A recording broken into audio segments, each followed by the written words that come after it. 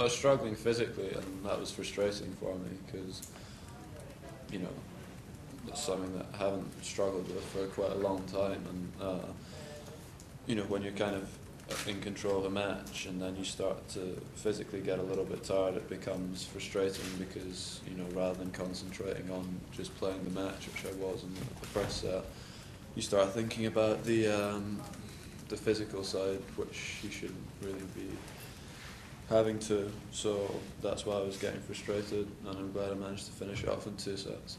It was just fatigue, or was it something more specific?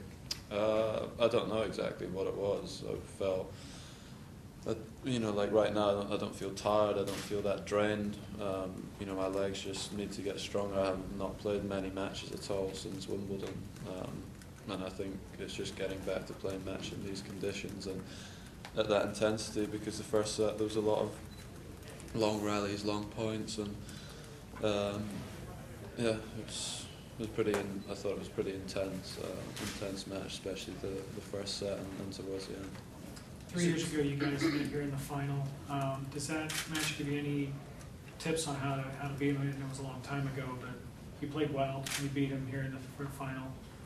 As you go into your match tomorrow, same game plan, different. Uh, well, I think both of us, our games have probably improved a bit since then. Um, played Novak in you know a few finals and big matches over the last uh, few years, and um, won some of them, lost some of them. Uh, I'll need to need to play well together. Uh, sorry tomorrow, but it's it's, um, it's a good good test for me. I see exactly where my game's at before the the U.S. Open because he's you know the number one in the world just now, and um, it's a good test for me. Andy, in regards to the tabloid hacking scandal that's unfolding in the UK, have you ever had cause to wonder whether your cell phone or email had been hacked? And just as someone who's a very public figure back home, what's been your um, take on that as it's unfolded? Um, no, I haven't really thought whether mine would have been hacked or not.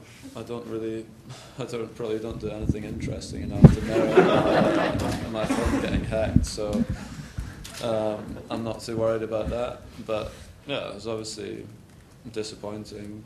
You don't really want those sort of things going on. Um, but it happened and it's getting dealt with just now. So I hope it, hope it never happens again.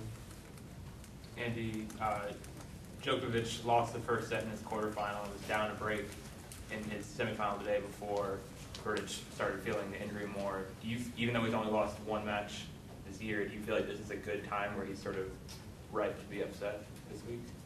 Uh, I don't know. I mean, I think he's going to be pretty fresh tomorrow. He was only on the court about half an hour today, 35 minutes, so he'll be fine for tomorrow, and um, I'm sure he'll be up up for the match. It's um, well, yeah, I think a good match for for both of us uh, at this stage, and um, I mean, I feel like I can I can beat him. I've done it before and had quite a lot of chances. I probably should have won against him in Rome earlier this year on on the clay, but I'll have to play well.